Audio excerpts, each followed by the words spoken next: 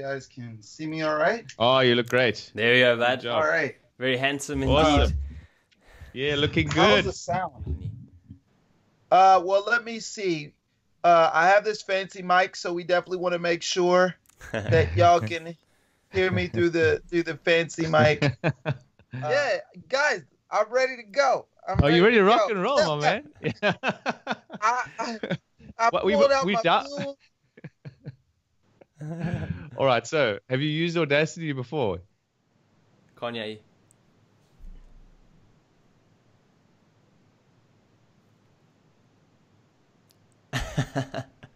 Oh, can you hear There me There we oh, now? go.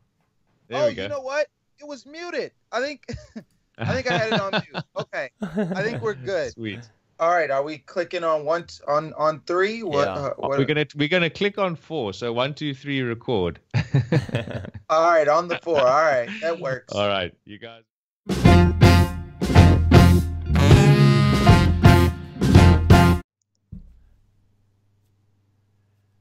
Woohoo! hoo, hoo, hoo. Great guys, how are you, my man? How's things going today?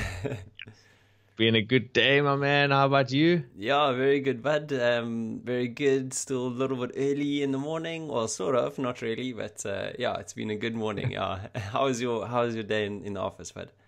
Yeah, but really good. There was some nice people around, and uh, the guy that I work with, he was on a conference, so it's always like exciting because he's got new cool stuff, new research to like share and stuff. So Oh, that's always fun. So we like had a chat about some of that, and uh, yeah, and um, even more exciting is that we get to get on a call now and uh, and uh, have a chat about some awesome guests. So yeah, Yeah, really a good day. That's cool, my man. It's uh, it's always nice learning new things, isn't it? And um, you know, like in relation to our chat uh, this week, um, you know, the I guess the learning part is is around books, and you and I, I think, are both pretty lucky. Like, you know, growing up, we we both read quite a fair bit, didn't we? And um, I think you said you could recite some of the passages that you read in, in a book that from from when we, you were a young boy. Which one was that? So yeah, I just had this memory when we were discussing this, you know, and we were when we were chatting to our guest this week, uh, Irby. Uh, it, it brought back a memory of when I was a kid, and um, my we, we like you said we were pretty lucky because uh, we had books in the house and our parents read to us, which is really special. You know, that's a special time, obviously, as a kid, but uh, uh, it's also an important time for your development. Um, and I remember reading um, the tale of the Flopsy Bunnies, which is by which is by a famous author Beatrix Potter. And in that book, um, I still remember that I remember reading a word, which was the word was soporific Jeez. and these bunnies had uh, had eaten uh, the farmer's cabbages, and they are they were like lying in the sun and just relaxing. And I can still remember not knowing what it meant, and and um, my mom then sort of explaining it to me, and I and I still remember it, and I thought that's that's pretty special. Uh, and uh, just thanks from from reading a book as a kid, and I know you also mentioned during our chat that you'd you'd read or you remember a really cool book that you read when you were younger. yeah. Well, firstly, what does soporific mean? So soporific is just um, I'm going to probably butcher it now a little bit, but uh, it's basically just uh, you know you, you've you're just super relaxed and, and lazy after you basically you maybe when you've had a meal or something and you Ah, you're yeah. lying there and you're relaxed and yeah so Okay, cool. Okay, cool. Something That's a cool word, actually. I think I get Great soporific a few times a day. yeah no, totally man. yeah so for me it's, it's interesting there's actually two that i remember the the first one was i think was in like grade one or something and it was literally the first book that we got given and it was this book about i can't remember the name of it but it was like about a monkey or something and the monkey and every single page that you turned there was only one word and it was look and and that was the word you turned it and it was look and and I just I don't know why, but I just recall that one. but it was literally like our first our first book in grade one, um, or maybe before cool. grade one. I can't remember when it was exactly. and the other one that I recall, like more as a sort of a younger boy, I don't think I was a teenager. It was before that. Uh, was um, the Secret Diary of Adrian Mole, and um, ah, it was classic. It was this like thirteen year old little boy, and he he wrote this diary and every single day there was an in- entry in it. And it was it was funny because it was so relatable as a young boy you know he was talking about i don't know like his body and girls and all these sort of things. And it was it was a really cool read you know because you could oh. could really relate to it um, and that's the cool thing about you know our guest this week isn't it he's he's created something quite quite awesome like really awesome actually um, and made it very relatable for kids to read. Hey, Craig. For sure. Yeah, for sure. It's it's it's a really remarkable thing that he's doing, and uh, we we really stand for it and, and think it's a great initiative. It's it's called Barbershop Books, and um, he's found a way to to add such value in a research based way to his target market in a in a in a way that's proven to be the most effective age group, but also he's found a clever way of introducing that uh, at, that, at that age, and that's in a barbershop. So what he does basically is, uh, what he's busy doing is he's getting books um, that are age appropriate.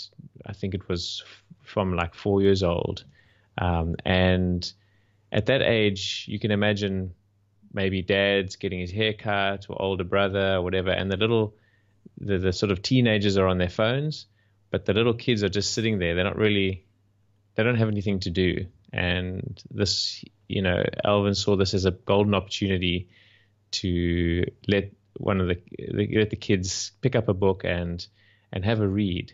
And uh, and in doing so, this is it's actually got a massive um, knock-on effect on on on, on kids, uh, uh, specifically black kids and kids of color uh, in the states.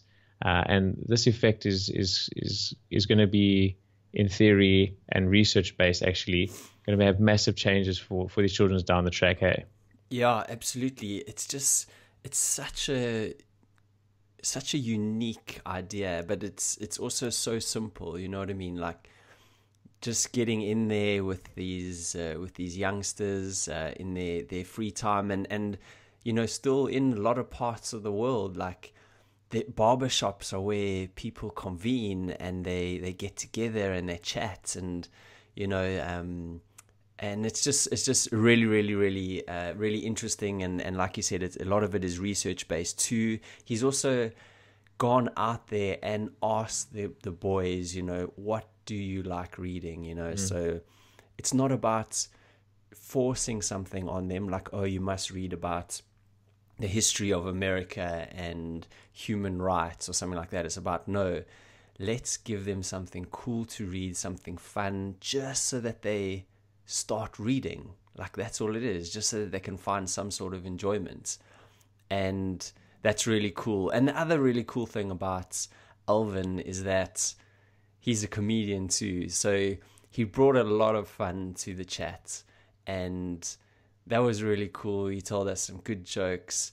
Um, and also we went into like a little bit about the mindset of comedians, you know, and and these guys are super clever. Like I, we have both always thought that, you know, uh, you and me, Craig, yeah. and you know, it, it takes a lot to kind of get onto stage, be funny, tell a story and to yeah just to sort of captivate your crowd you know what i mean there's like it, there, there's a proper art to it and uh, alvin also tells us about you know like comedians actually being nerds you know they they properly go into their their subjects you know and they all use different means and ways of doing things be it one liners or long stories or facial expressions or the tone of their voice, you know what I mean, to kind of bring out the joke that little bit more and they practice day in, day out.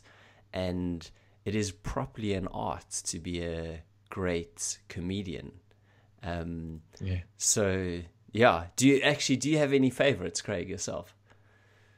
Well, just just before we get to that, I, I totally agree with you. Like how, the, the skill of being able to hold a whole crowd, just you on your own, no accompaniment, and make people laugh consistently. It must be super stressful as well. Like if you know, when you're sitting there and no one's having a laugh, it must be devastating. And um, the the cool thing is that. Uh, you know, um, Alvin actually uses his his comedy now to to raise some funds for for his um, for his projects, um, which is really cool. Uh, so to be able to combine that that humor and he bridges the gap between serious topics uh, like the ones we're discussing now, and then brings a, a humorous element to it, which I think is really smart as well.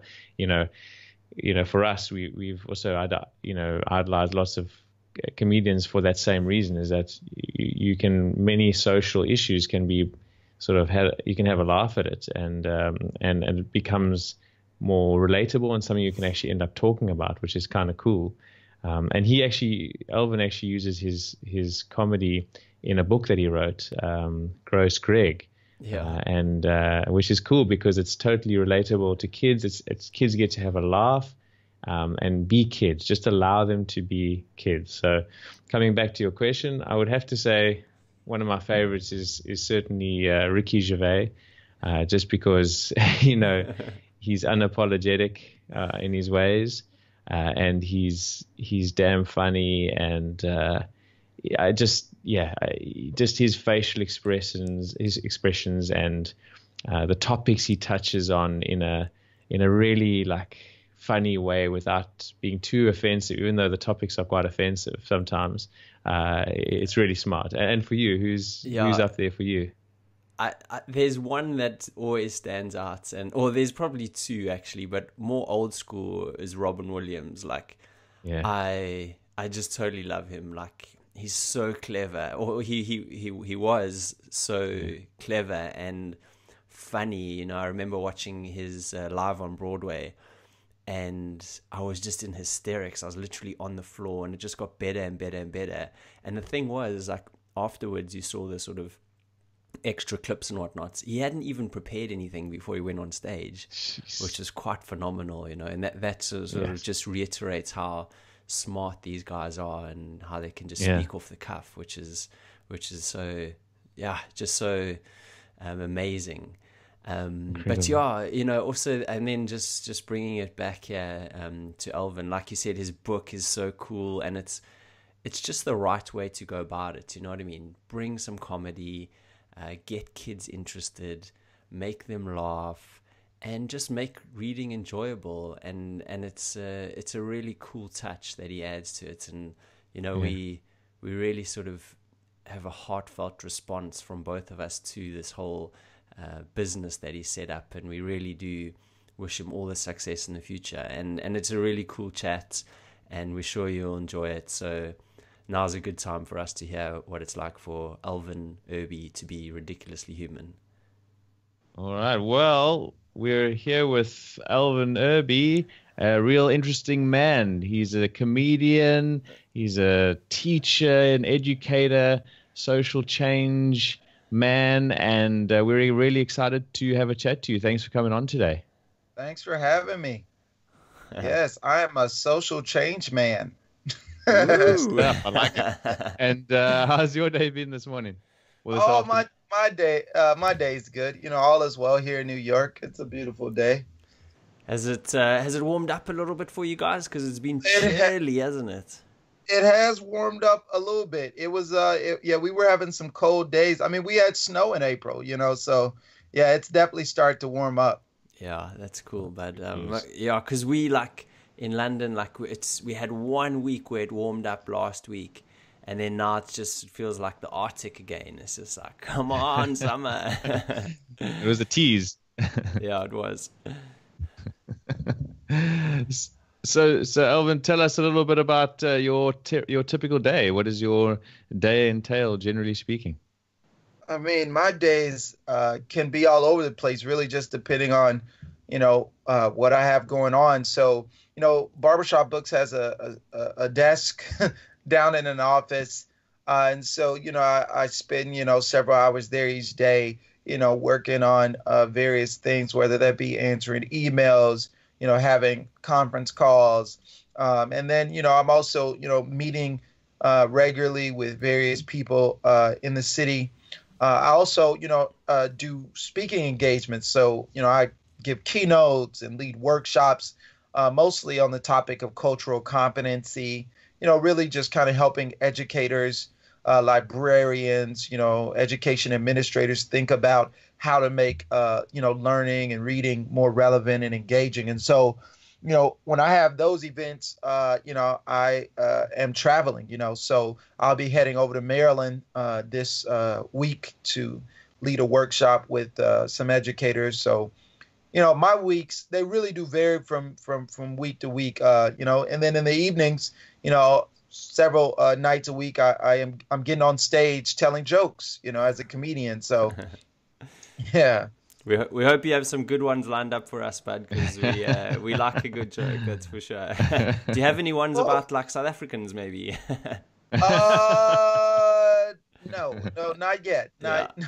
not yet. Maybe after well, this conversation, you will, yeah. yeah, you'll be like, oh my god, these South guys Africa, spoke to. though, you got they're they're like uh, experiencing some uh some some interesting uh, political uh, kind of situations right now, right? With people confiscating land and all kind of other stuff. Yeah, but I mean, it's to be fair, it's it's been happening for you know for hundreds of years, and it's uh, yeah, but it now I guess it, it's sort of becoming a bit more you know out there in terms of they they're taking a few more steps now to take some white farms and things like that, but you know I mean, that's just part of uh, that's just part of growing up in Africa, and um, you, yeah, it's it's not it it maybe it's not it's not ideal the way they're probably thinking about going about it, but um, let's see what happens. Like we hopefully hopefully it's not uh, like tragic or horrific or anything like that, and and can be done in the right way. Yeah, well, if hopefully there's uh, yeah, like you said, like uh, some good on the other side of all of that. Yeah, exactly. Yeah, yeah, yeah for sure. Yeah. So, um, as a comedian, I mean, I guess there's always when you're looking around, li- when life's happening, I guess you're getting all these these ideas and stuff day to day, or how do you how do you go about getting your material? Yeah, no, it's it's absolutely exactly like that. I, I definitely feel like uh, comedic inspiration is everywhere. You know, even in the worst of situations, uh, you know, there's just so much funny. I mean, I remember, you know, going through the uh, the airport, uh, Chicago airport, and you know, the TSA, which is you know like the people who you know check your bags and you know mm. make you go through metal detectors. You know, they they pull me to the side and like, you know, we're gonna need to search you, and I'm like, ah, oh, here we go. Uh, and, but no, but then they said something I've never heard a TSA agent say in my life. They said, sir we're gonna need to check your groin area. And I'm like, what? I'm like, you know, I'm, like, I'm, telling them, I'm like, no, I'm pretty sure I don't, I don't have any metal down there. and then, and then they point to this this screen, and it has a yellow box right around my groin area. And, I, and I'm like, well, that's really weird. And the guy, the guy, the TSA agent leans over to me and says, yeah, that's a common misconception. The machines, they don't just check for metal they also check for density.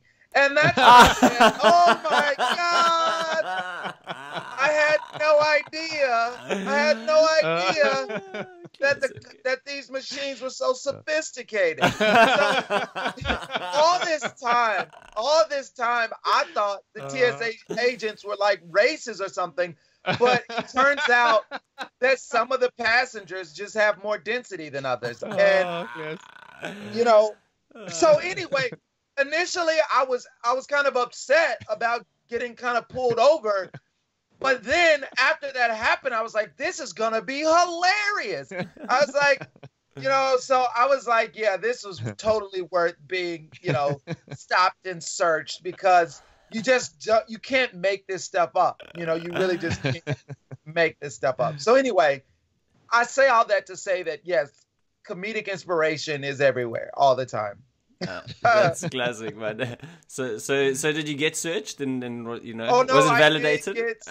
well, you know, the crazy thing is that this has actually happened to me at more than one airport. So I don't know if this is a thing. I don't know if it's the genes that I was. I don't know, but uh, I did get searched. So you know, I don't know, man. I don't know. uh, that's so funny, but oh, well, that's a great way to start start things off. That's for sure.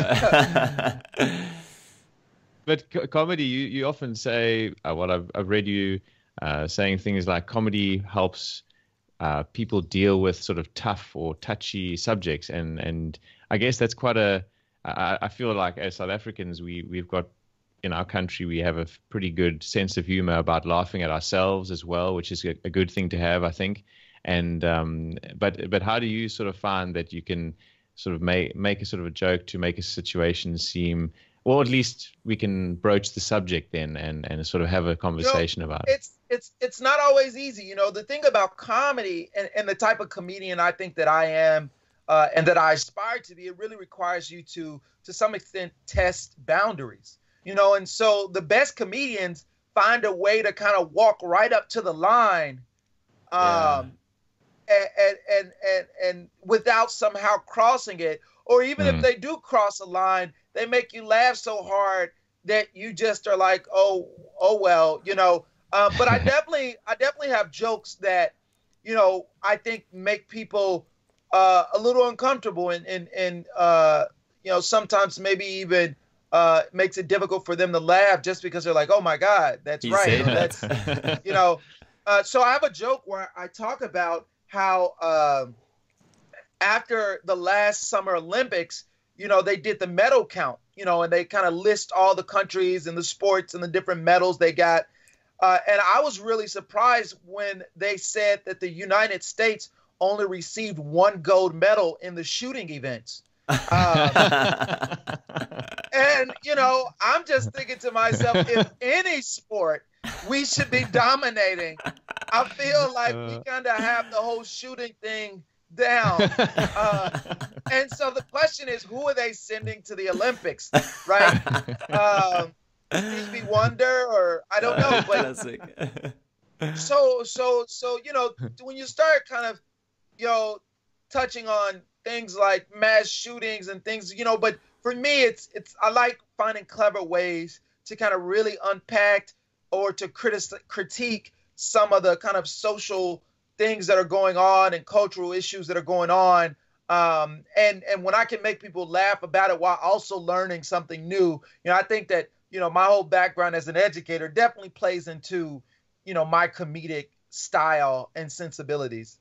Yeah, yeah, that's sure. so cool. I think it's such a cool way to kind of like like you said, maybe break break the ice a little bit sometimes, um, but also it's a good way to kind of to get like a serious message across as well with a little bit of um, with a little bit of humor. Humor, yeah. I mean, I like to really create the type of jokes that that what I call they they mess with people's schemas, right? Yeah. So you know, every time someone goes through an airport metal detector now, after hearing my joke, you know, you're hoping for the yellow. Yeah, you're hoping. guys, yeah, the guys are hoping that that, that that that they have to get searched there. But anyway, yeah. So you know, I think it's it's those kind of things that that uh, you know really excite me. The possibility of really kind of in some ways altering people's reality and how they kind of see the world. And I think that's really what you know my whole belief about education really is about. Is you know I really believe that reading and education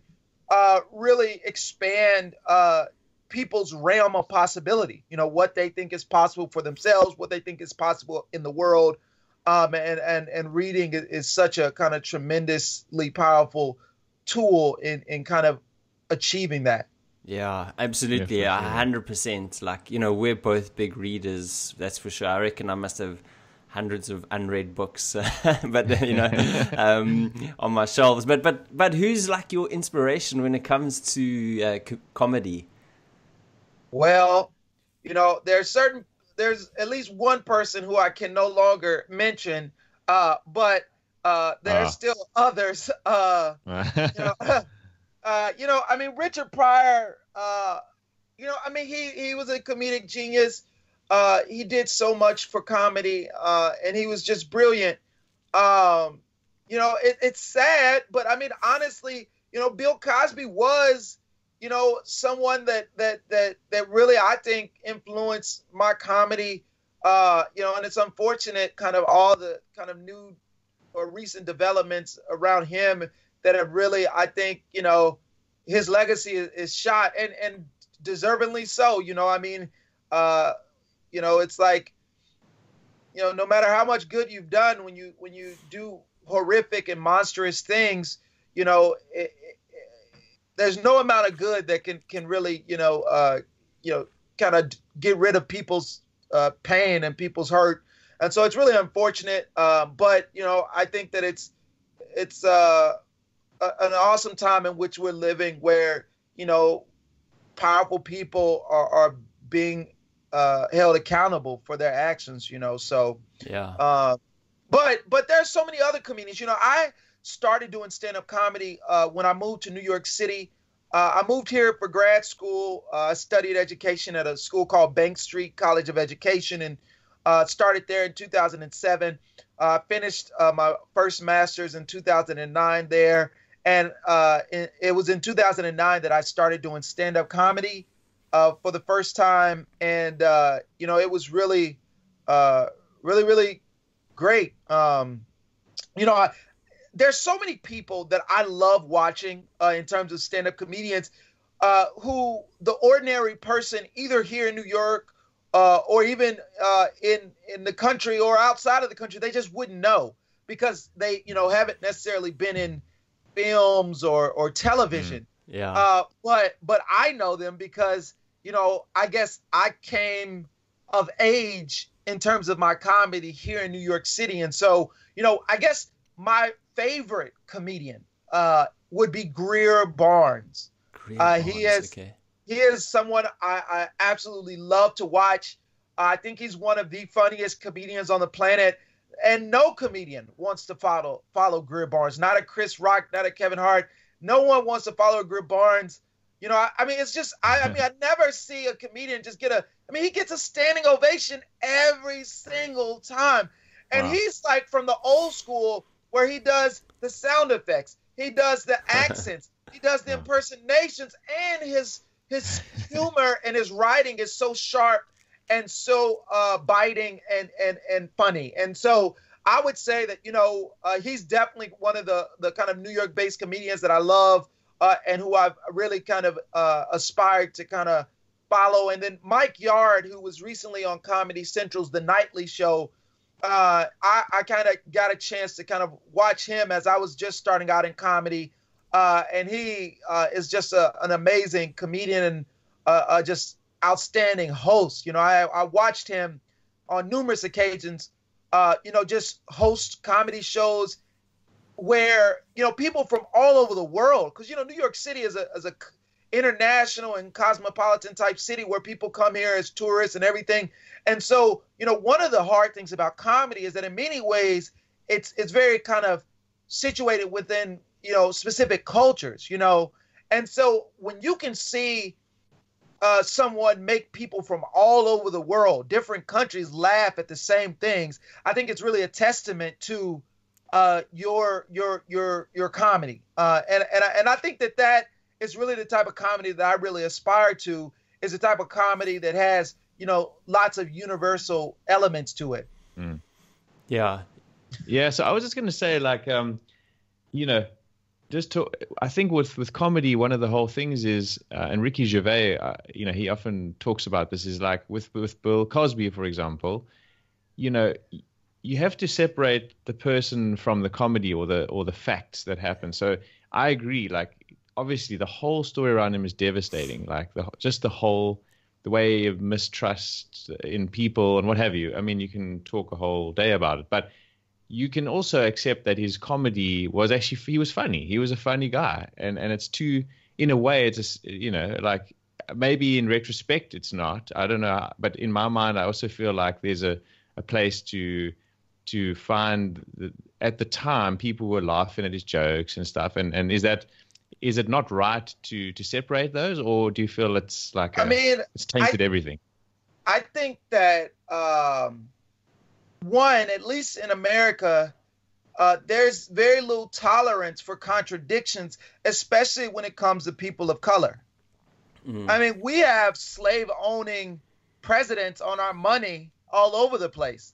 Mm. And they were raping black women up a storm. They're slaves, you know, but yet they have statues erected in their honor. They have money, you know, that, you know, ha- that, you know, has their faces. And so, you know, I definitely think that, you know, in some ways, you know, th- there there are definitely situations and circumstances where there is a tolerance for for for contradictions. You know, people who did extraordinary things, uh, but who also uh, did evil things. You know, and and I think that you know, depending on who the person is, our society uh, may be a little bit more understanding or flexible in their willingness mm. to not throw the baby out with the bathwater. I don't know if they use that phrase, yeah. which sounds yeah. actually kind of violent. Uh, actually, now that I, it's like we shouldn't be throwing babies anywhere, actually. but, but, but you know, I, I, I mean, I don't know. I mean, his legacy is definitely tarnished forever. It really is. Mm. But at the same time, he made the careers of so many, mm. you know, actors and other people happen, right? And not because of him exploiting his power to do harm against them, but using his actual power or influence to give some uh, actors and other people uh, a leg up. And so, I mean, those things exist. You know, those people who have careers still have their careers regardless of, of, of what Bill Cosby did. But I definitely think that, you know, it, it's just unfortunate, you know, it is. And, and I think that, you know, you know, I, I think it's, it's, it's, uh, it's just interesting because, you know, as, as the kind of Me Too and other type of movements have kind of gained traction, uh, you know, it really has drawn attention that, uh, you know, I guess makes people wonder like, what does forgiveness mean? What does it look like? What does justice mean? What does it look like? Um, and uh, I think that it it's kind of moving, you know, mm-hmm. uh, uh, depending on who the person is, depending on what the circumstances are. But you know, I'm a guy, uh, you know, I'm not a perfect guy, uh, and you know, I just you know want to be as best an advocate and ally as I can, you know, as I go through life for mm. uh, women. Um, but it's these things are not easy, and you know, especially as a mm. comedian, you know, when you know someone that you really uh, admired and look up to, uh, you know, kind of have such a great fall. It, it's it definitely does make you sad. You know, it. I mean, yeah, it it just does. You know. Yeah, yeah, I totally know what you mean. Like, um, I feel. I, I do feel like I maybe look at him, you know, that, that little bit differently now because we, we grew up in South Africa with the Cosby Show, like I guess is probably most Yo, of the world. everybody, did. True, we yeah. everybody grew up with you know, Dr. Huxtable, you know. Yeah, exactly, man, exactly. And used to love it. It was just so fun. It was like a Monday night or something like that. And, um, you know, is it like, you know, before we move on, is it like too early to start pulling out the, the, um, the Mr. Cosby jokes? Like, do you know, is, is that, is there a time when it starts? Uh, have, you, have you, have you ventured I mean, there yet? No, I mean, I have a joke. I have a joke uh, you know, I had to get my wisdom teeth out uh, recently, uh, and they gave me like uh, this kind of IV or something that allowed me to kind of that sedated me, like I could go to sleep and then I just wake up and my teeth are out. But what they didn't tell me is about the side effects, like strange dreams. So I have this weird dream where I wake up in my dream. I'm still sleeping, but I wake up in the dream and I'm in the dentist chair, except it's not my dentist it's Bill Cosby, and he keeps insisting that I go to sleep, and I'm just and I'm just like, no, I am not going to sleep. He's like, but if you do not go to sleep, it's going to be very painful for you. And I'm like, well, this is going to have to hurt because I need to keep my eyes on you, Doctor. uh, but anyway, but I mean, listen, uh, uh, you know, comedy comedians are about pushing boundaries, about uh, you know, testing the boundaries. And no matter what you say, there's gonna, you know, always be someone who probably doesn't like what you say or the way you say it. The trick is to be funny, honestly, because the stuff that Richard Pryor talked about, I mean, he was very abusive to women. He was abusive to himself. He was abused, right? There's so much hurt, you know, that that I think finds its way onto comedy stages. Uh, and you know, I feel that you know there are some comedians today who are just trying to shock people just for the sake of shocking someone, mm. you know, without having any point, without even having the funny, you know. And so I feel that the more controversial or edgy, you know, something is, the bigger your responsibility is as a comedian to make it funny. Hmm. For sure. Definitely. I think what um, what, what you mentioned earlier, uh, just just dwelling a little bit longer on, on comedy, is that you know some comedians are really funny internationally, and I think that is an amazing skill to have. However, I think it's also a testament to the fact that we, human beings are all more or less the same on some level. There, there's stuff that we can, you know, all explore and have a laugh at in any culture and any and that's why it's so cool because you can you know you you might be grown up in in in in New York for example and I'm from South Africa but there'll be something that we can still both laugh about uh, and because we've all done it or we've done silly things or whatever it is and uh, and I think that's why comedy is, is so great is to as a linking between there's like a bridge between um, two cultures you can that you can find that common ground and I think like Trevor Noah. I presume you've you've heard of him. Um, oh yeah, yeah. I've, yeah, I've so, actually been to the show. Yeah? Oh, have cool. you? Cool. Oh, how was that? Oh, it was great. Uh, I have a good friend of mine uh, uh, who uh, uh, Angelo Lozada. He's actually the warm up uh, comic for the show. So every oh, before oh, wow. every show starts, he's the one that comes out and kind of talks to the crowd, gets them laughing, and gets them excited about the show, makes them clap you know, all oh, that jazz. Uh, and so he's he's really cool. He actually has been on the road with Trevor Noah quite a bit uh, since wow. uh, starting with the show. Uh, and uh, so yeah, it, it was a really cool experience. You know, Trevor is, is a brilliant guy, and most comedians actually are nerds in some way or the other. You know, some of them are nerds about their content. You know, so they're you know reading everything, or they're nerds about uh, the way they observe people or, or some comedians, you know, even if they're physical comedians, they're nerds about, you know, paying very close attention to their bodies or their facial expressions, you know, doing like like when I, I think of Jim Carrey, you know, Jim he used to literally yeah. just stand in front of the mirror and distort his face until he could, you know, really capture the essence of someone he was trying to really impersonate. And so, you know, regardless of whether you're talking about politics or you're talking about culture or whatever, I definitely think that it takes some level of nerdiness to be able to uh, really refine your craft as a comedian to the point that you can make people you just do not know laugh. Yeah, yeah, yeah, hundred percent. Wow, this got deep. I didn't. no, this is good. I, I, I didn't realize. I didn't realize you know, I thought we were just gonna be talking about, you know, helping the babies read and stuff. And it got, it got real deep. yeah, that's good. So, so yeah, um, I would obviously, uh, we obviously want to get to know you, and and we we're getting there pretty quickly, which is awesome. but um, give us a little bit of a rundown of like your childhood and and and your sort of upbringing and how you got to reading and that kind of thing, and um, and just give us a little bit of a background on who who, who Alvin Irby is as a kid. Sure. So, uh, you know, I, I was born and raised in Little Rock, Arkansas. Uh, and, you know, my mom was a, a, single mom. You know, she's an elementary school teacher. Uh, you know, reading really wasn't a part of my, uh, or I was, it wasn't a significant part of my childhood. You know, I really didn't read for fun a lot of my friends, uh, you know, and you know, brother and sister, you know, you know, none of us were kind of, you know, kind of tucked away in a corner somewhere, you know, reading for fun.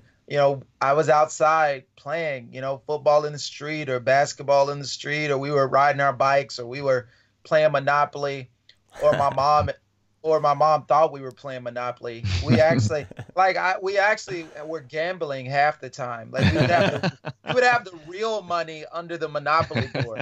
And then when my mom would show up, we would just be like boardwalk, right? We would just like move the pieces and act like we were actually playing the game.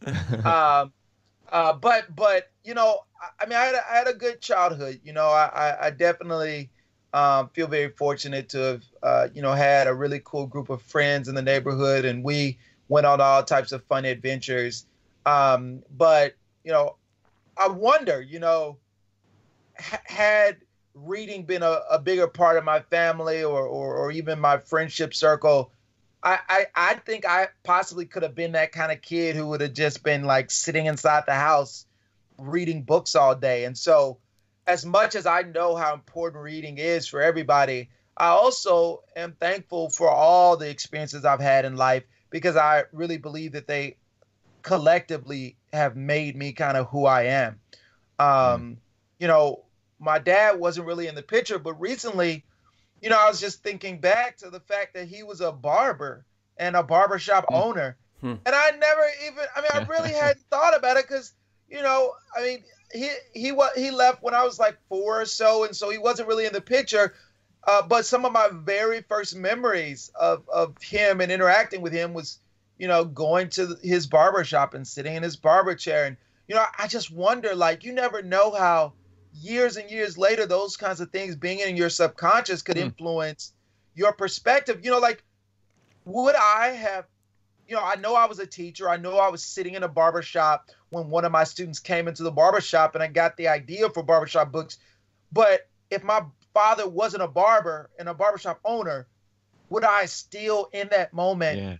came to that? I don't know. I probably would have, but I don't know. And so, you know, I do wonder, like, you never know how mm. you know, the experience that you have kind of fit together to really kind of carve out your path, you know. And I mm. think that as much as we have agency, I also think that, you know, there are things that happen in life that can, you know, really shape who we become and, and what path we take.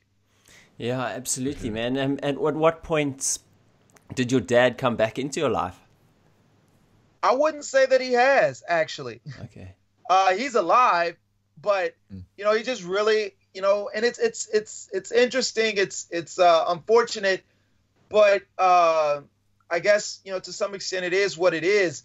And you know, I think that you know, part of why barbershop books um, is such a powerful idea is partly because so many young black boys are raised by by single mothers in the United States. So, you know, one of the things that barbershop books, you know, which for those of you who are listening who may not have, uh, you know, heard of this program, you know, what it does is, you know, we create child-friendly reading spaces in barbershops, uh, and we provide early literacy training uh, to barbers. And the, the mission is to help young black boys and other boys uh, of color to really identify as readers. You know, so many people you know, when I tell them about reading and things like that, they're like, yeah, we want kids to to uh, have a love of reading. And what I tell people is, well, a child can fall in and out of love with reading depending on who their teacher is, depending on what reading material they may have access to, depending on what kind of homework they have.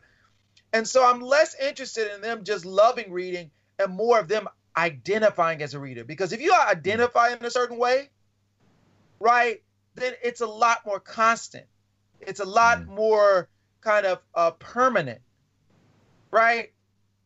Uh, and so, you know, my goal is, you know, in the work that I do with barbershop books and in the work that I do traveling around the country talking to educators is, you know, challenging people to think about how we can begin to create the type of early positive reading experiences that will help, you know, children identify as readers.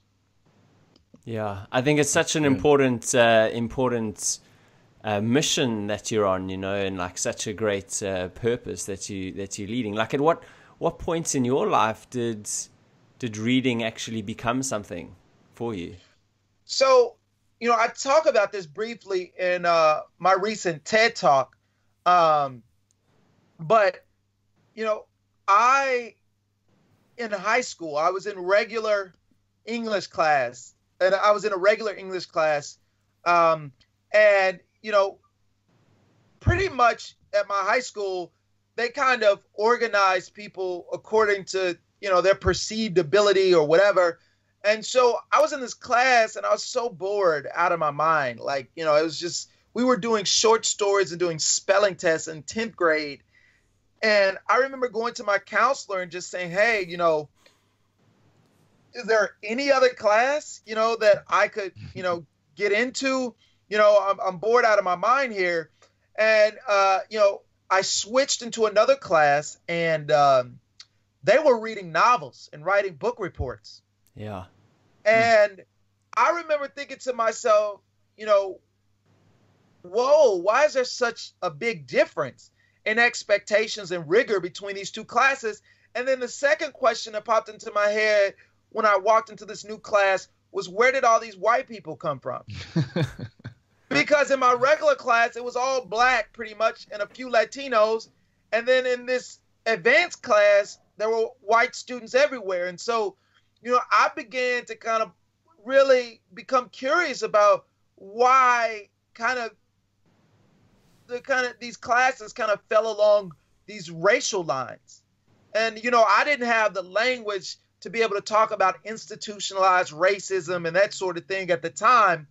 But you know, I think that it was kind of some of the experiences like this that really inspired me uh, to one began to take agency in terms of being in control of my education uh, and my reading. You know, and it was I think that you know that was really the beginning of it for me is when I began to really understand that there was kind of some kind of more insidious something at play in terms of who was actually being challenged and, and provided with you know rigor and, and, and reading and, and who wasn't you know and you know i just decided you know i'm not going to let other people kind of dictate when and what i learn or when and what i read uh, and, and, that really I think was was really the beginning of, of a lot of you know the work that I'm doing now. Uh, and during my uh, junior year, I did a science fair project where I surveyed about you know 200 of my classmates to find out you know what their reading habits were. And what I found is that most of the students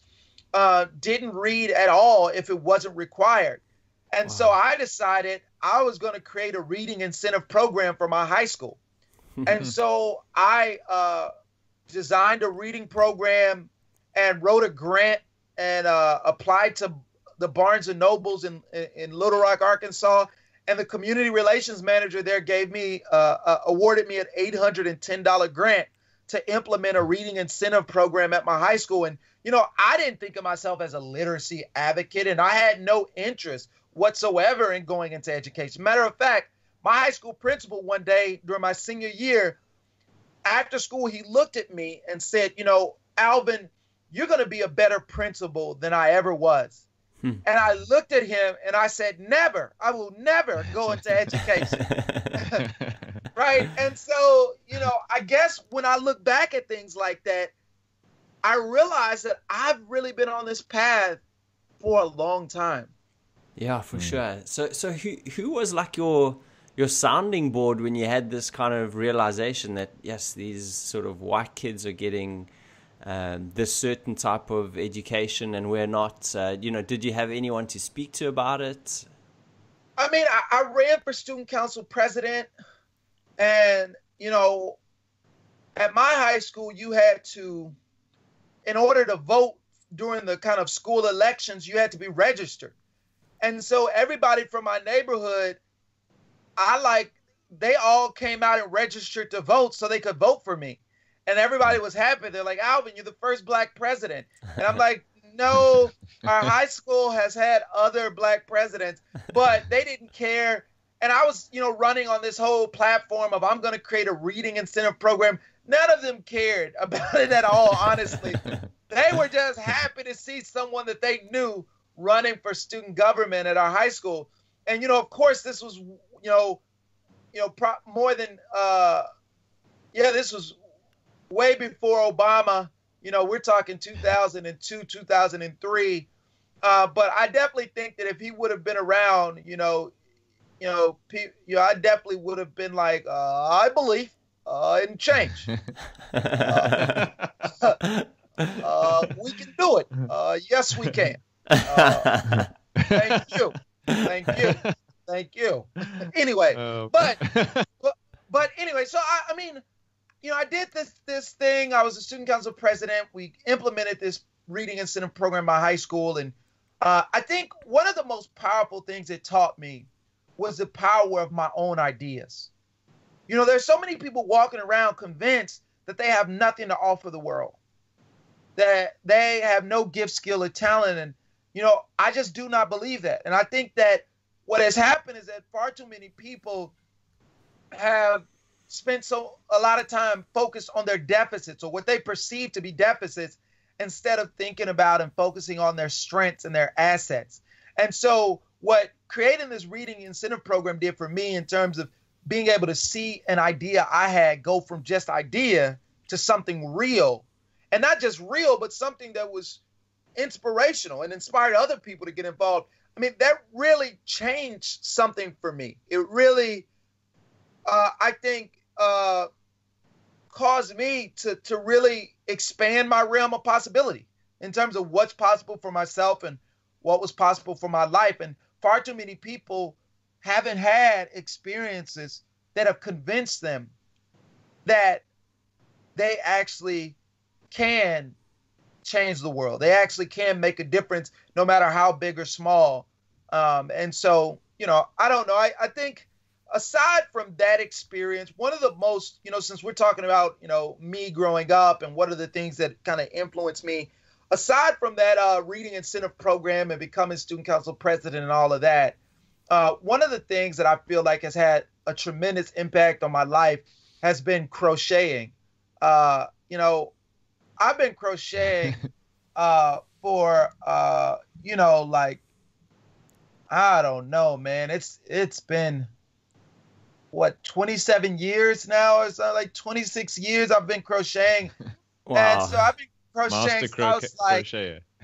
yeah, my crochet game is crazy. But um, since I was like seven, and you know, you know, in Little Rock, Arkansas, that's really not something uh, a little boy does. It's just anywhere, really. I don't, I don't know anywhere that there's like little boys just crocheting. But, but what it taught me was to appreciate my own unique gifts, skills, and talents, and those of others. And it also I, I would say created, you know, self confidence, and uh, and, and not just you know blanket self confidence, but the type of self confidence that convinced me to not stop doing something that I felt I should be doing or that I felt I was good at. You know, because you know, I'm not going to say I don't care what people think or I didn't care what people thought because that's not true. When people said crazy stuff to me when they saw me crocheting in the middle of a basketball game, but what, but what it did is it taught me not to care enough about what people thought to stop doing something, yeah. you know, that I really felt uh, I was I was kind of supposed to be doing. So yeah, crocheting for sure. Definitely, I think I would say has played a role in, in who I am and kind of yeah, who I've can, become. Can, can we can we maybe just like explore that a little bit? Like, can you tell us what sort of things you like you you have been crocheting? How did you even get into it? Was it through your mom? Like, and and yeah, my mom. What my did mom your buddies say? You know, like they must have ripped mom, you. I can imagine. Oh you know? yeah, no, I've heard just about anything you can imagine. Uh, and that's if you actually just you know YouTube me, uh, you know Alvin mm-hmm. Irby crocheting, you can see footage of me crocheting on the subway here in New York City, cool. and you can see from the footage the looks, you know that that I get you know on the train and that sort of thing. But yeah, I mean, you know, people said crazy stuff. People gave me crazy looks. You know, what are you doing? Are you gay? Like, what's going on? You know, for sure I got a lot of that. Uh, but I also got some, man, that's cool. Wow, you're doing that fast. I want to learn how to do that. You know, I also got that. Uh, my mom taught me, you know, when I was about seven. You know, my grandmother, you know, she doesn't know how to crochet, but I did crochet her a blanket. You know, I crochet stuff. I mean, I've made all kinds of stuff over the years. I mean, hats, you know, scarves, blankets, Afghans, uh, iPod holders when iPods cool. were a thing uh, you know, all kinds of you know pot holders. Um, you know, I, have I've just done a lot of stuff, and I've taught a ton of people how to crochet. you know, when, every year that I taught, when I taught kindergarten, when I taught first grade, when I taught fourth grade, I uh, always taught students to crochet. Uh, you know, and so that was a pretty cool thing to be able to share that with students as well. Yeah, but you know what? I I, I absolutely love it, and um, my girlfriend and I were recently in Brazil. She's Brazilian, and uh, her mom has like some great like little rags and things like that, and she's like, "Yeah, no worries. You want one like that? I'll do it for you, no problem." So she just uh, like literally got a picture of this this cool flower and like within the um, space of like a week she made us this amazing like crocheted uh, rug you know what i mean? And i i'm like that is a real talent. Like you have to be like well, an it's, artist I'm great to hear and, yeah. that that is uh, still happening because you know with the advent of technology and all this other stuff, you know certain things like that definitely aren't being passed down as much. You know, um, yeah no it's true it's true hey and you know Yeah. what's so so classic is like today i wait, was does your girlfriend crochet? no she doesn't but no See, Um, I- exactly. yeah yeah i'll Yo, have to have you a got- chat to her Yo, but- y'all gonna have to have a crochet party like with her mom. Actually, you're right. We'll, we'll get her over. We'll like hook up a scarf like this, Yeah, and then you'll and be like, say, okay, then yeah. what? well, what I do guess we they do? don't need scarves in Brazil though, right? Like, Yeah, does it no. get cold enough? No, it doesn't. No, exactly yeah. But um but actually i was having a chat to my mom today and she was like she's like yeah no i'm gonna go and do my knitting this afternoon because i really like i enjoy my knitting. It's very therapeutic and i'm like that's cool. Like it's a cool thing to do. You know what i mean? It's like you have a bit of time to yourself you focus on you your wool and your needles and it's a good thing to Yeah, do it's good for your mind it's good for your Oh, soul I got so many crochet needles and yarn, man. I could just make it rain. You know, like how the guys are with the money and the clubs. Like I could make it rain. Just crochet needles and, and yarn everywhere. Uh, that's awesome. classic. But so why can't why are we Oh. not seeing any on your walls behind you? Like any cool, you know, crocheted Yeah, things? Uh, no, it's not exactly the kind of thing you would put on a wall. Just, but I do have lots of scarves though. You know, when it gets cold, uh, and it definitely gets cold here in New York City, I definitely have tons of, of warm scarves that I, I can choose from. Do you ever so like cool. uh, make some for some mates or family? Oh and you're yeah, like, yeah, yeah. look, When uh, I first came, to happy New York- birthday! Here we go again. yeah, exactly. As soon as I, the first year I came to New York and I was on the subway, you know, commuting and everything, I would usually be crocheting. So that after that first year, I pretty much made a scarf for just about everybody. You know, my mom, my brother, my sister, you know, my roommate, everybody kind of got got a scarf. uh, Alvin, I wanted to just go briefly back to what you mentioned about feeling empowered to to be great and do things that you in love and, and what you do. And I, I- I think um, it's just interesting how finding that inspiration, I suppose, a lot of the time can come from reading. Um, and, and from books because you, you you know you read about other people's stories. But what I actually wanted to ask really more is about what does this term identify as a reader? What is that? I think it's quite an interesting term, an interesting way to put it, and I'd like to just explore that a little bit more. So, what does that mean, and what is the implication of it?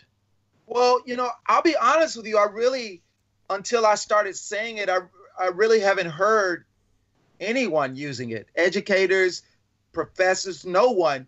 You know, most of the conversa- conversation around helping kids to read is usually around, you know, improving their literacy or improving their reading skills or their love of reading or these kind of things. But you know, I, I, the more and more I've spent time thinking about and, and working with children, the more and more convinced I am that many children do not identify as readers. Uh, and when I say identify as readers, what I mean is, uh, if you ask them, they would say, "I'm a reader," right? I mean, essentially, that's that's essentially what I Mm. mean. Uh, the same way, you know, someone might ask, you know, you know, where are you from, or you know, and you would Mm. say, "Oh, well, I'm South African," right? Mm. And I don't I don't know what it means to be a South African. You know, I mean, part of it means you have that accent you guys have, but uh, but other than that, you know, I don't I really don't know. But it means something to you if you are uh, if you feel strongly enough to identify in that way. And so the same way in which for you, you know, it might mean that you know you have some kind of shared culture, right? Some shared holidays, some shared history, some shared uh, you know pain, you know, or or, or uh, you know whatever it is that that it means to be a South uh, African. Well, to be a reader, I think there's certain things that people share, right? If you tell someone I'm a reader and someone says I'm a reader too, well, immediately mm. there's an assumption that you one you read for pleasure, right? It's not something that you're forced to do. Two, that you probably buy books or you check them out regularly, right? Uh, and that you probably share book recommendations with other people and you welcome books as gifts. Those yeah. so cool. characteristics as a whole, I think, you know, uh, might be some of the characteristics that, you know, mm. might describe someone who identifies as a reader. But for me, you know, what's just so tremendously ironic about American education is that, you know, the children who tend not to identify as readers are often the children who have very few reading opportunities outside of school, who have few uh, opportunities to kind of interact with books. Or, you know, they have limited access to books outside of school, uh, and who tend to struggle in reading. You know, uh, hmm. and these are the kids who tend not to identify as readers. They tend not to have relevant reading models, meaning, you know, they don't have people in their immediate environment who's modeling, you know, pleasure reading and things like that. And so when they get to school, for a lot of young kids, the first thing that happens is that they're being assessed. Yeah. And someone's telling them all the words they don't know, all the letters they don't know, all the letter sounds they don't know. And could you imagine if you went to work and and what happened every day was someone just telling you a list of all the things you didn't know how to do, all the things you you, you can't do, you don't know. I mean, imagine how you would feel yeah. if that was what your education consisted of. And so for a lot of kids, I think they're finding themselves at a crossroad where they're at a very young age having to decide or making a decision about to what extent they're going to identify with the with school and those things that are associated with school, whether that be reading, learning, or uh, writing, or doing math, or whatever. And a lot of kids are choosing to not identify with school mm. or with learning. And what's and, and what I was going to say in terms of the ironic part of this is that the kids who don't have access to books and reading and, and positive reading experiences out of school, they're the ones who need fun reading experiences in school the most. Yeah. Because they don't have parents who are taking them to the bookstore or who are regularly taking them to the library, yeah. are reading to them at night. So their reading identity is being shaped or not shaped in school.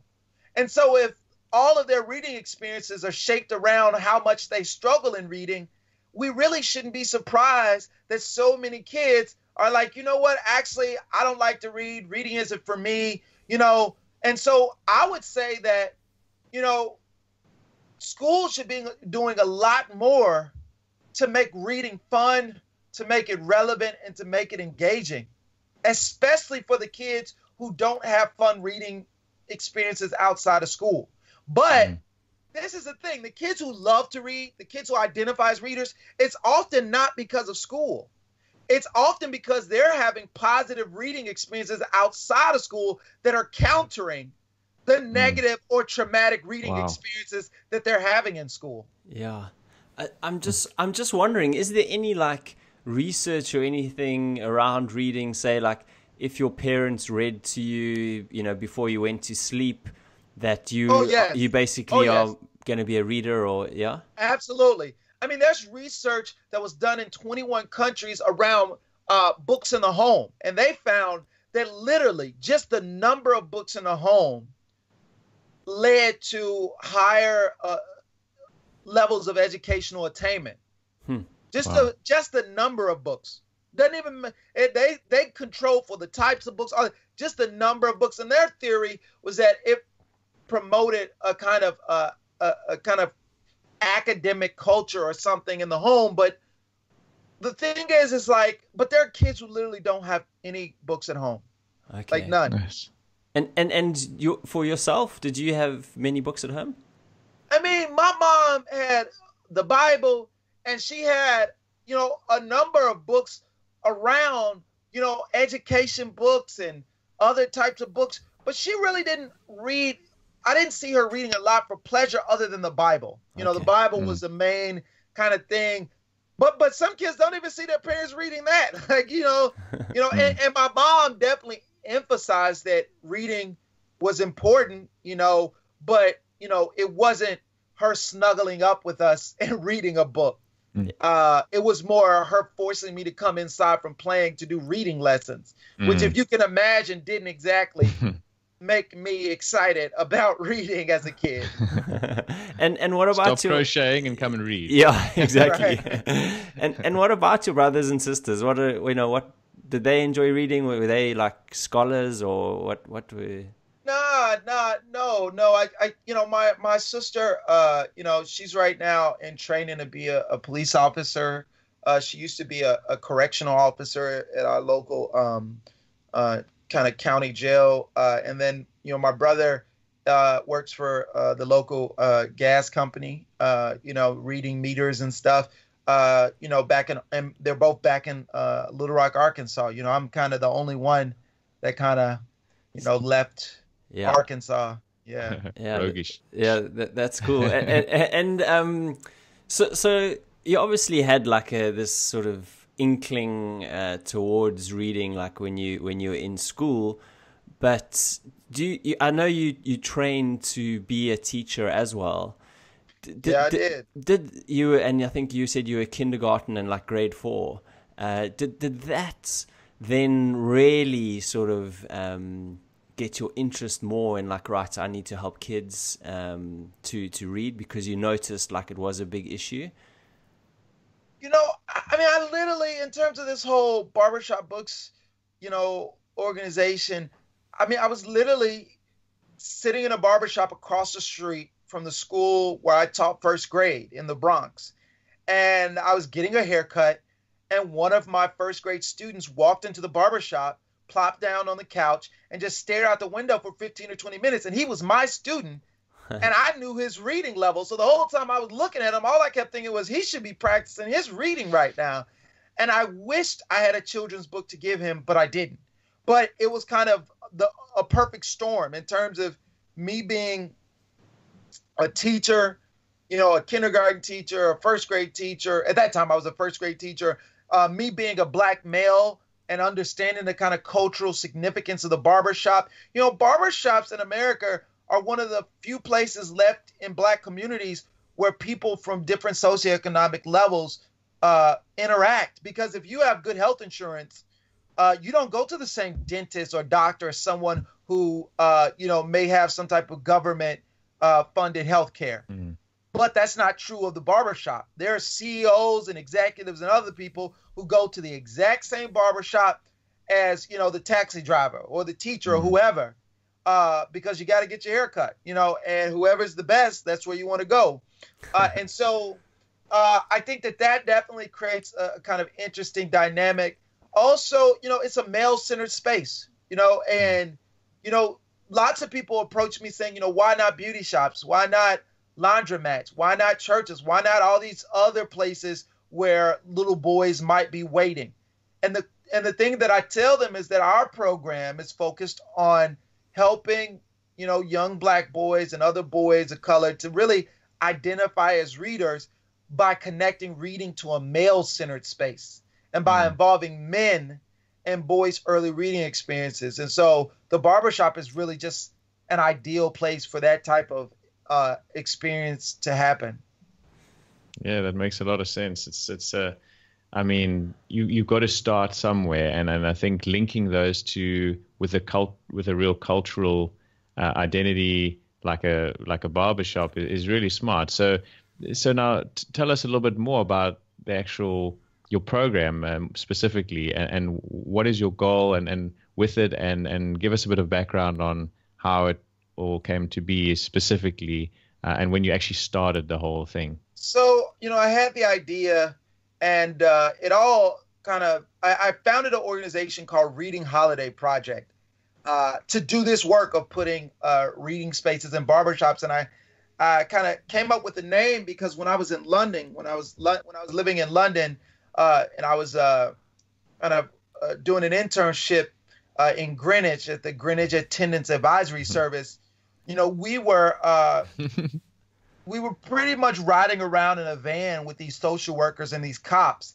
and uh, when they would see a kid who who was uh, skipping school or uh, you know they would say there's one bunking off and like which i guess bunking off in, in london that, that, you were skipping school or missing school. And so uh, literally they would like zoom out in front of the kid hop out of the van on them and say why aren't you in school? And get them in the van and then take them to school. It was the craziest thing i'd ever seen. But i remember asking the director of this uh, attendance advisory service like you know what is the you know what's the number one reason so many kids you know are not going to school or whatever? And he said unauthorized holidays. And that was the first time i'd ever heard the word holiday used to describe a vacation. Yeah. Uh, okay. because here in america they just say i'm going on vacation uh, and so when i came up with the idea for you know putting books in barbershops i said you know i want kids to take a little reading holiday Hmm. uh, a little a little break to read a book. But then I realized that you know you can't really do stuff that clever. I think in America sometimes, like you just gotta make things very clear and plain, and not be so clever. I mean, look where our president is. But anyway, uh, so so I, I was like, you know, this is a horrible name for you know the work that I'm actually doing. And so I took some time and uh, kind of thought up a new name, and that name was Barbershop Books. And so, you know, Reading Holiday Project is still the name of the organization, but Barbershop Books is the name of the program.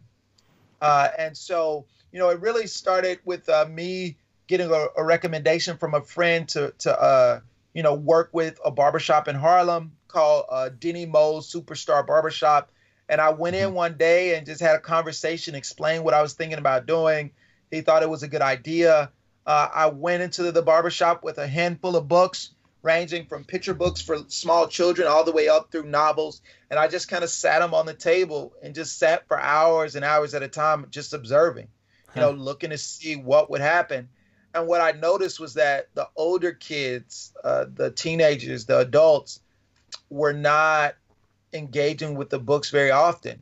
You know, they were on their cell phones or they were watching TV or they were having conversations. But the little children, right, mm. the children who were, you know, two, three, four, five, they were the ones mm. who were most likely to actually engage with books in the barbershop. And so that allowed me to kind of refocus uh, the direction of the program. Um, and I was buying, you know, the books myself with my own money at the time. So you know, I wanted to make sure that if I was going to invest money in, in, a program, that I wanted to ensure that I was going to have the largest social return on investment, right? So if I spent money on books, I wanted to buy the books that were going to get read the most. And so I, it was like, you know, as a result of those observations, that I decided to focus the program um, solely on children ages four to eight. Um, and so I put the first bookshelf in Denny Moe's uh, and then we spread to about 10 other barbershops in um, in Harlem. And then, you know, I developed some strategic partnerships with publishers and with manufacturers of the bookshelves. And now we have reading spaces in about uh, 112 barbershops across 28 wow. states uh, wow. and 18 cities.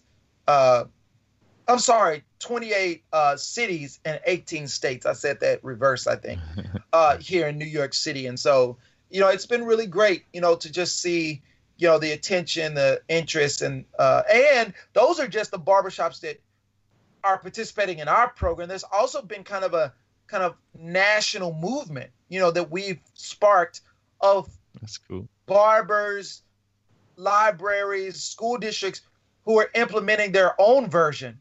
Cool, man. Not with not with our name, you know, because we'll have to send them a cease and desist. But you know, but but just a similar, you know, version. And so, and the reality is, you know, barbershop books, you know, won't be we won't be able to make it to every single barbershop alone. And so, you know, I'm just happy to see that there are more people being civically engaged as it relates to, you know, supporting and promoting early literacy in the communities, uh, and people who are really thinking more. And you know, I hope that you know the work that Barbershop Books is doing, the work that I'm doing, will really uh, cause people to to think a lot more intentionally and carefully about the type of reading experiences that we're creating for children.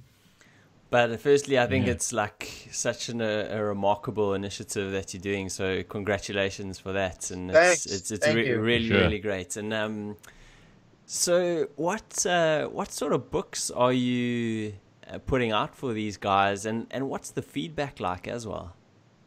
Well, so you know, the feedback has been overwhelmingly positive. Uh, the books that we are, uh, and that's barbers, that's parents, that's barbershop owners um, the books are books that were recommended by young black boys. You know, we I asked boys in barbershops, you know, what are some of the books that you really like? Um, and you know, they said, you know, books like Captain Underpants, you know, books like um, Diary of a Wimpy Kid, books like No David. You know, these are some of the most engaging and, and, and popular books. You know, and you know, I find myself often having to really counter some of these very uh, negative perceptions that I think don't support uh, the positive early literacy development. What I mean is, you know, when people hear, oh, you know, your program is helping black boys, or oh, you're putting, you know, these reading spaces in barbershops and in, in, in low income communities. Well, I have some books uh, that I would love to donate, and they often are wanting to clear out their basements or their attics of some random old books, and they have this idea that somehow if a kid has limited access to books or maybe don't like doesn't like reading, then any books are better than no books. and I, I mean, I categorically uh, oppose that line of thinking.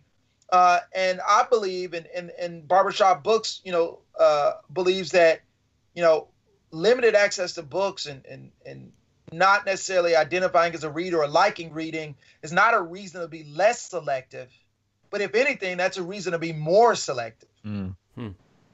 Yeah, but it's still it's still a nice thought though, you know, like people wanting to give their. But you know what though, nice thoughts don't help kids read.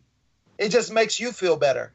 And I feel that so much of what's going on in the world right now is really about people getting warm and fuzzies and feeling good on the mm. inside, and less about whether or not their actions are actually resulting in people's lives being better.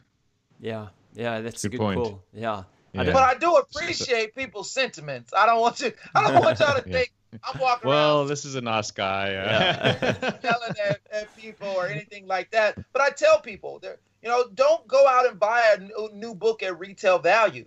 Donate to Barbershop Books so that we can get 10 books for $20. Yeah. Right? As opposed to you getting two books for $10. You know, you know, you know, but but you know, some people are just, you know, more they I mean, there really are people who are more interested in just feeling good. They really are right. than whether or not they're actually achieving uh, a particular result. Yeah, yeah, sure. I think it's it's really common across the board. I guess if you just uh, you, you, eh, eh, different kinds of charities and stuff, and and pe- things that you think you can do. Oh, let me. This will be great because you know this makes sense to me. But when you look at the research of things, eh, like you say, the, the the actual numbers are very different often. So it is important to take a deeper dive if you're going to decide to support something and and see if it actually makes a difference. You know. Well, and I get so many. I mean, I I get requests from people in London and in Australia and other places saying, "Yo, I think you know this will work in our in our country," or you know, you should bring barbershop books here. We have all these barbershops. But you know, honestly, I'm trying to build our capacity so that we can have a staff to continue to grow uh, and deepen our impact here, uh, just in the you know in the United States. But you know, I definitely look forward to being able to you know really uh, you know expand our reach um, but you know, our work right now, I think, is is really on securing you know uh, fun, uh, funds, you know, funders and uh, identifying you know potential board members and just a lot of the nitty gritty stuff that you need to kind of really uh, you know bring a, a, an idea like this to scale. Mm. So have have you noticed like or is there once again any research on the type of books that young black guys might like as opposed to young white uh, guys might like? no, I, I don't think so. I, I, I don't, I don't, not, or I don't know of any. It could be. I know that Scholastic did a, uh, they do a, a kind of parent and student survey uh, every few years where they survey thousands and thousands of children and and ask them. And one of the things that they found in their survey when they asked kids, kind of what kinds of what do they look for when choosing a book, the number one thing that children said they look for when choosing a book was a book that would make them laugh. Yeah. Mm. Cool. And I don't think that that's something that is, you know, particular to any one uh, group of students, you know, whether it's black students or Latino students or white students, you know, or, or even just boys or girls. But I will say that, you know, I, I as a teacher found laughter and humor to definitely be uh, uh, very engaging for, for young children. And, you know, we're just really trying to bring the books that the kids have told us that they want. You know, when I talk to adults, they have all these ideas about the type of books that kids should be reading or the types of books they want kids to be reading. And often there's a serious disconnect between mm. what adults want kids to read and what children actually want to read on their own. Yeah. So, so Alvin, is that good? Is it basically good enough for you to say, as long as my child is reading, it doesn't really matter at that age what they're reading? Is that fair to say? That is absolutely fair to say. And I, I encounter parents all the time who are like, oh my God, you know, Mr. Irby, all my son wants to read are comic books. And I was like, I just want to stop you right there. I want to just draw some attention to your first few words. All my son wants to read. Yeah. I was like, and I tell them, you know how many parents wish they could get, they could say just those words about their son. Mm-hmm. All my son wants to read. right. And so, yeah I explain to parents that you know your your your child's reading taste, uh, you know, their reading interest will develop and mature and change over time. What's most important right now is that they identify as a reader. Yeah. Because if they don't identify as a reader now, the chances of them identifying as a reader later are just going to be greatly diminished. And if you don't identify as a reader, then the chances of you being a lifelong learner you know, are greatly diminished, which mm. means that all types of opportunities uh, will be closed off to you. Because, you know, wow. the 21st century is really a knowledge based economy. You know, the, the industrial age is dead. You know, uh, the, the factory jobs that once could sustain a family and allow you to kind of uh, live a, a, a comfortable life, that's no longer the case anymore. And so, you know, as more and more of you know globalization happens and things like that affect you know especially the American economy, you know your ability to read and your ability to you know uh, think critically and and and, and kind mm. of learn information is is just that much more important. Yeah, so I, true. I, am just wondering uh, if it's maybe just a South African book or not. But is do you know a book called Adrian Mole? Have you ever heard of a- it? Adrian Mole. I do not. Okay, wow. Do, I don't know, Craig. Do you remember Adrian Mole as a kid, like at all? Uh, the the name of the book or the, the, the author? No, the name of the book. The, with the, the, the little. Yeah, it was it was no. about like a guy. Like I'm sure he he wrote like a diary like every single day. And oh, no, I never uh, read that. Ne- oh my word! Uh, well, it, it, was one of the best books ever as a kid. I mean, so really? my school always used to read Adrian Mole, like, and it was this oh, wow. young was guy. Was it like, like a whole series? I, I think there was like only two of them, but he literally wrote a diary like every single day. Um, well, the, di- and the it was diary so books, good. Diary of a Wimpy Kid is like one of the hottest books out right now. Uh, so you know That's that cool. yeah. The, I think that that guy was on to something. Uh, I, will tell you what I'll do because uh, we're actually going to be in New York in July. Is I'll try get a copy of it, and then when we come to New York, we'll oh, we'll, we'll try what, and give you one. What time in July will you be around? Uh, in like like twenty second of July or something like that. Oh, okay, we're going to be having a summer book giveaway on July 18th. We're going to be giving away uh, over 3,000 books to children from across New York City. Um, so that should be cool. Ah, uh, that's um, cool. Yeah, that sounds amazing but yeah, you'll definitely have to. Uh, well, if I'm you know performing or doing stand up or something, you have yeah. to come. Uh, That'd be awesome. That would be awesome. I, and I, I was just thinking, like, you know, if, if the two tie up, so there, there surely has to be a Freddie, uh, sorry, Freddie, uh, uh, Eddie Murphy uh, sort of joke in there, you know, with um, him being, you know, coming to America, sitting in those barbershops, and uh, yeah. you know, obviously being a black comedian. I'm sure you must have, you know, you must have something there. Yeah. Do I have any uh, jokes about barbershops? I do have a few jokes about about the barbershop. It's more about traumatic experiences that I've had in the barbershop. But I do have a, I do have a few stories. Um, you know, one of the things I didn't mention as we were kind of talking about book selection and the types of books that kids like, you know, I I recently uh, published my own children's book yeah. uh, called Gross Greg. You know, and it's a, a funny, you know, laugh out loud story about a little boy who loves to eat his boogers um, you know, you call them boogers, but Greg calls them delicious little sugars. Uh, and, and, you know, it's just a really funny story uh, about this little kid who, you know, happens to be black, who, who just loves to eat his boogers. And of course, everyone else is completely disgusted and appalled. Uh, you know, his teacher, his sister, his mother, everybody's like, oh my God, stop it. You know, but he's just loving uh, the title, Gross Greg. And so, um, you know, I published this book because of, you know, when I was teaching, you know, nearly all the children's books that had black characters were about slavery, civil rights, or biographies.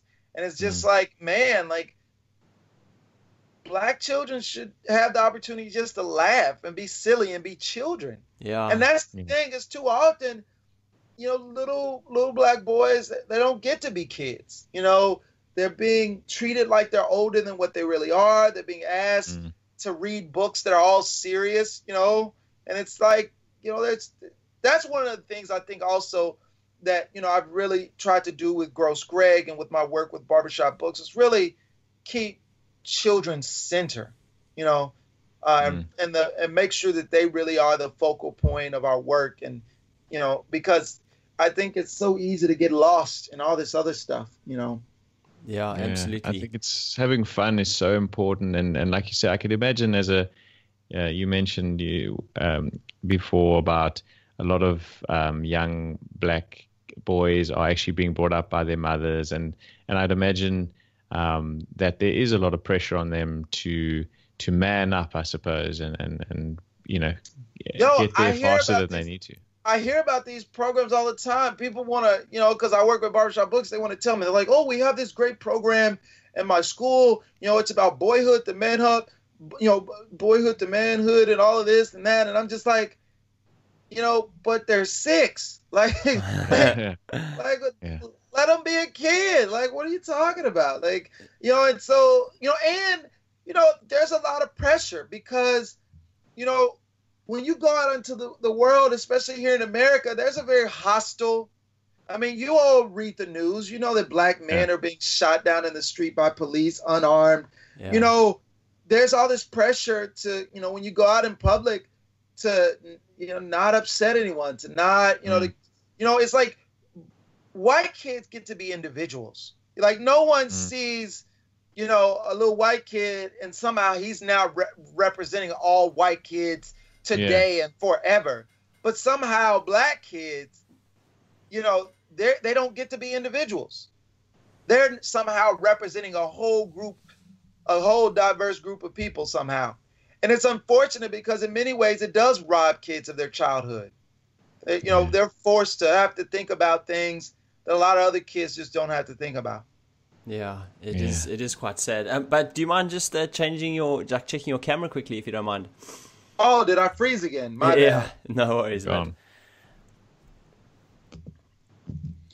All right. Hopefully, we should be back up so, and going. So, so while, while we, yeah, while we, yeah, so, so um, I'll just wait for Craig to appear quickly. Um. so when I when mine goes crazy hit and I yeah this you know it's weird. Yeah but Skype is interesting. Yeah it is. Um, let's do one more there. Let's do it again. Oh man. Round two seems to work better for a little while. We were good for a long time Yeah, it got tired. Skype just got tired. yeah. It used to eat its Wheaties. exactly. Oh, did y'all eat Wheaties in Aus- in uh in South Africa? No, we didn't. Wheat, is that like Weet-Bix? No, no, it's not. It's it's like I don't know. They used to have all these athletes on the cover. Uh, I don't know. Yeah. I mean, Wheaties were horrible. They were they tasted horrible, but they, but they had famous athletes on the front, so you wanted to buy it because because you'd be like, that.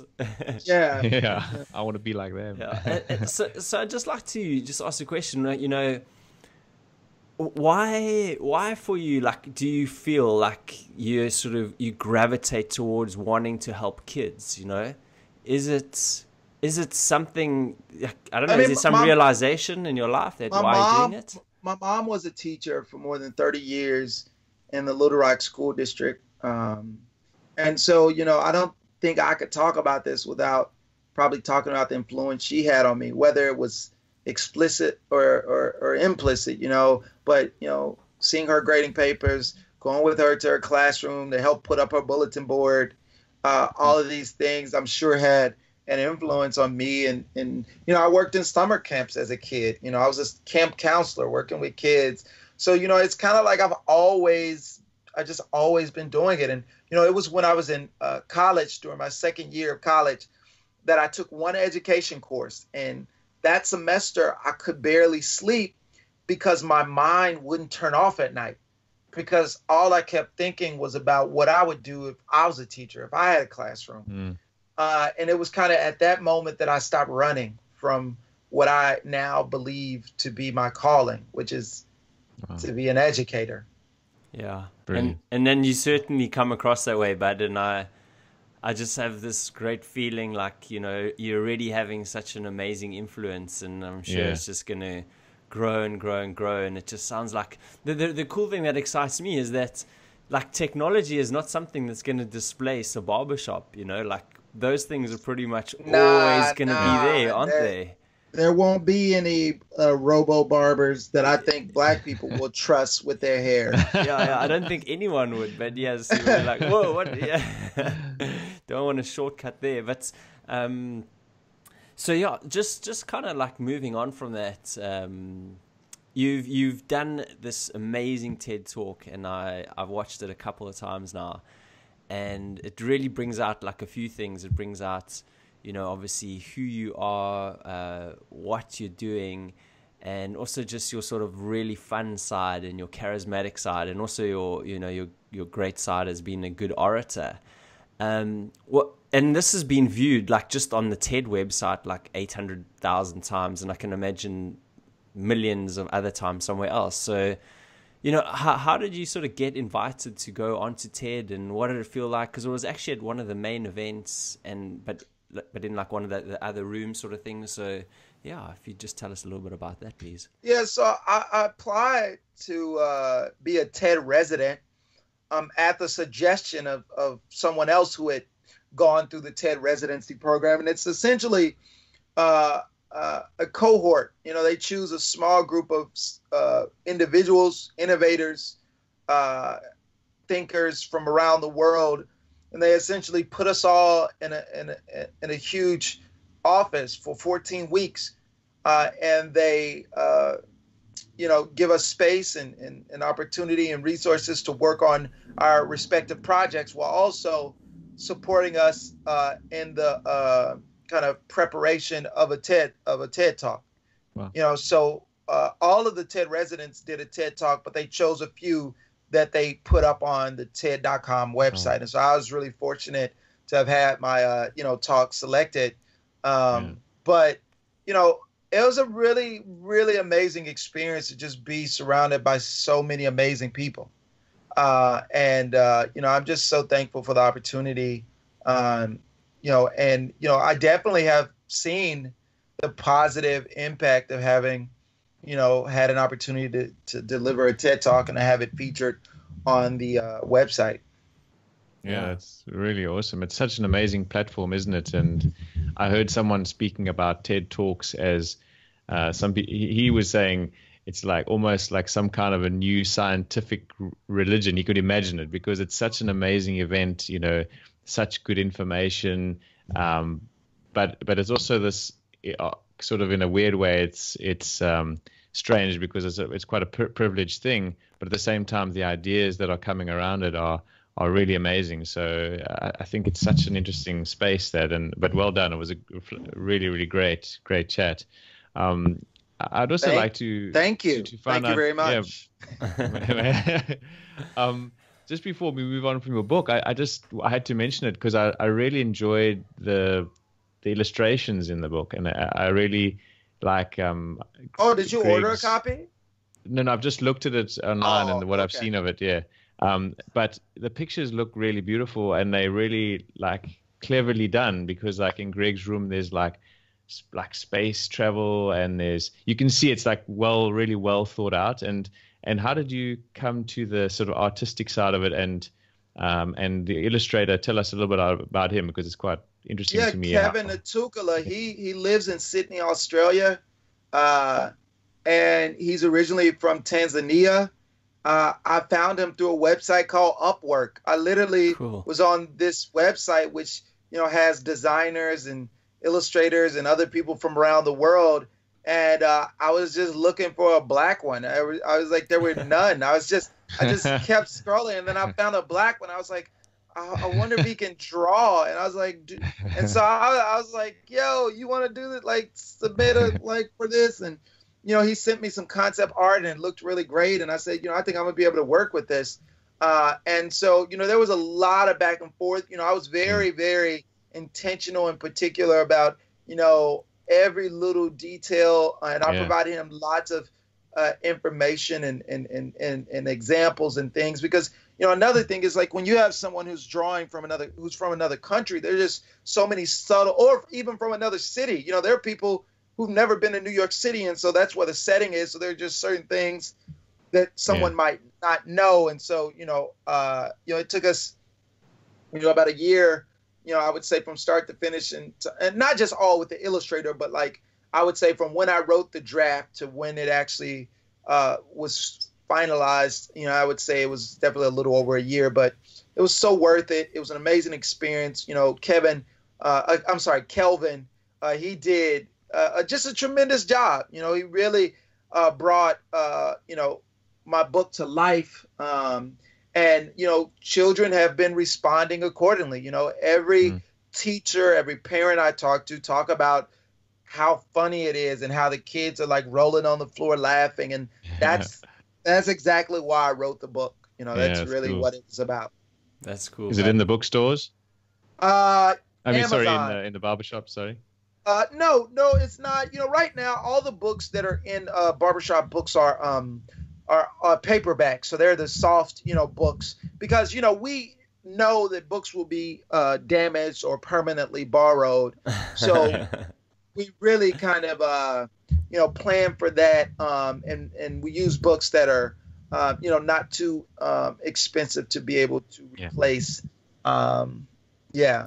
yeah. yeah. makes sense. And, so, Bud, uh, moving forward, what uh, what does life look like for you, and what does life look like for the business? What's uh, what's going on? Well, uh, you know, barbershop books.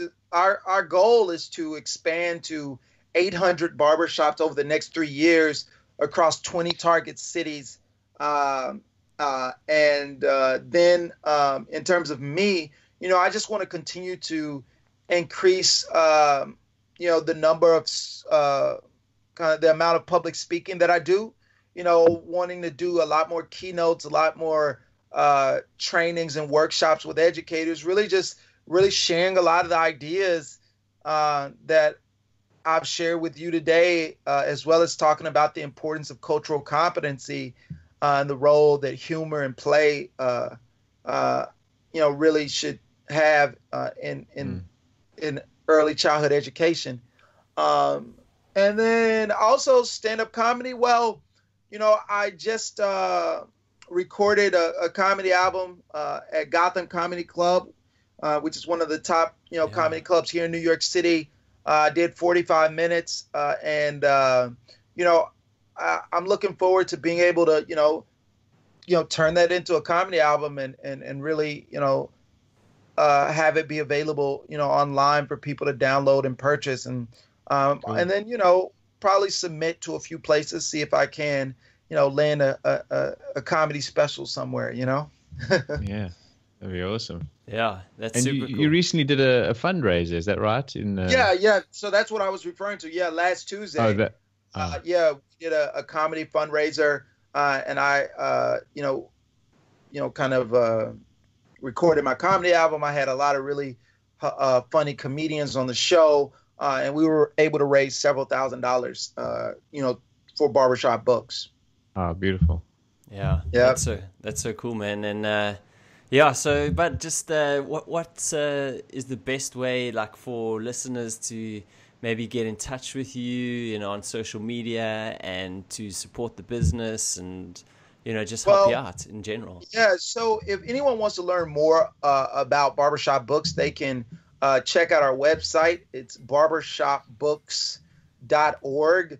Um, so barbershopbooks.org.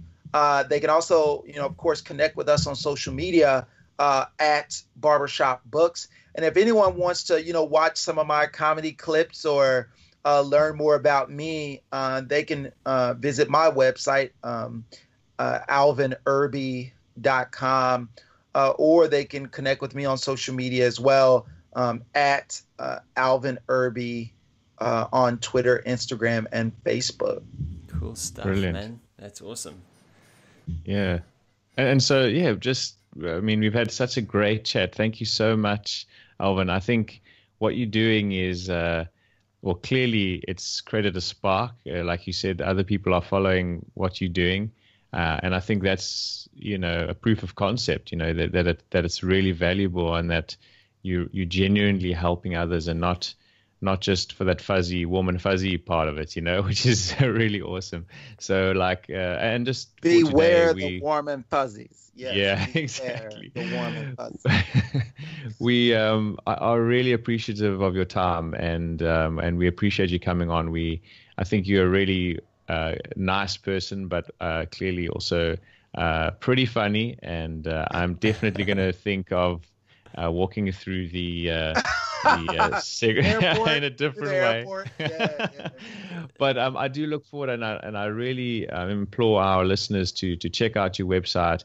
Um, there's, you know, you, if you donate something there, it's going to a very, very uh, valuable cause, and we know where it's going. So that's uh, means a lot. So thanks once again from from my side, um, and uh, we we can't wait to see where you head with us. Well, thank you guys for having me. Uh, it was really a pleasure uh, and a great conversation. Yeah, that's cool, man. And and just from my side, I you know, first of all, we put together a lot of uh, show notes, so all the you know relevant points in our discussion will be there, as well as your uh, your handles on social media and websites and book and everything. So uh, people can see that on the website and. And I'm pretty sure that right now uh, I have international shipping. Cool. Uh, so I, on on Amazon, so uh, I, I I like so yeah. So if you uh, you know, I mean, you can buy it from my website, you know, uh, alvinirby.com. You can also find Gross Greg on uh, uh, on Amazon, but uh, I'm pretty sure that I would be able to um, get the book shipped out uh, if Great. people order it. Yep. Awesome. I, I think yeah. I'm I'm gonna have to buy uh, Gross Greg because my sister's uh, boyfriend, his name is Greg, and you know, oh, just kind of yeah. he loves picking his nose, so it's gonna. oh, oh, Gross Greg is not autobiographical. It is not.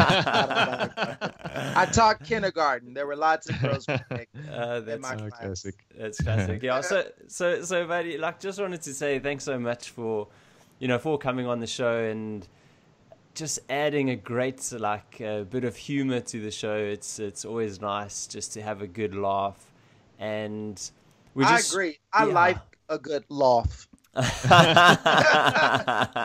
heard that too. uh, classic. You see, man, that, that's what it's all about, man. You know what I mean? Like now you're gonna have like a, a handful of South African jokes to say It's your next big, big evening at Gotham Center. So you know it's awesome. Um, but no, no, just seriously, like what you're doing is really, really amazing, and it genuinely comes from a great place.